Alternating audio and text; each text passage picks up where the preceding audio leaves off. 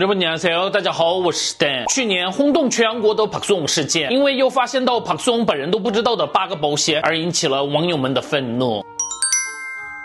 朴颂从去年开始，因自己的财产问题与亲哥哥一家人发生了矛盾，目前以一百一十六亿韩币的损害赔偿提告了亲哥哥。而因为力挺亲哥哥的父母以及对于妻子的谣言等，朴颂度过了很长一段痛苦的时间。但是让朴颂痛苦的事情不只是这些。根据媒体报道，朴颂在与亲哥哥打官司的过程中，发现到自己竟然有八个连自己都不知道的死亡保险，而保险金的受领人是亲哥哥嫂子持有百分之百股份的法人公司。也就是说，如果朴颂出事了，这十亿多韩。韩币的保险金都是由亲哥哥嫂子来收领。据了解，这些保险都是朴松的嫂子一手办理的，而保险公司只是给朴松打电话确认了而已。而在保险公司来电话之前，亲哥嫂子对朴松说了，会有保险公司来电话，只要说是就好了。因为当时朴松是百分之百的信任亲哥哥一家人，而且工作也很忙碌，所以没有详细确认保险的内容。当朴松在打官司过程中发现到八个死亡保险这段内容后，真的是受到了非常大的打击。哇，看标题就觉得毛骨悚然，这不是连死了也要剥光他的皮？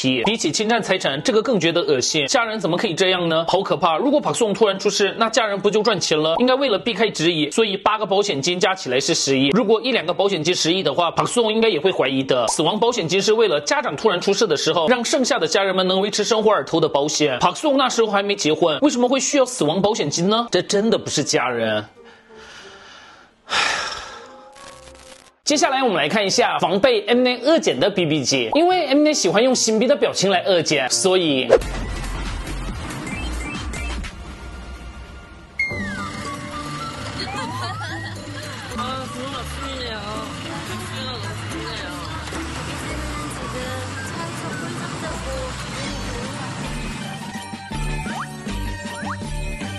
禁止误会，心情很好。然后在休息室看别团表演的时候，手上也会拿着正在集中观看的这个东西啊，新币太有魅力了，可可。看完 Q 暖变得超超超超好感，多给新币点出演费吧，真的太好笑了。有良心的话，制作组多给新币出演费吧。入坑新币了，本来就知道小女友们的歌，但是对成员们不是很熟悉。看他对团体的爱以及对舞台的态度后，入坑了。新币继续被二剪吧。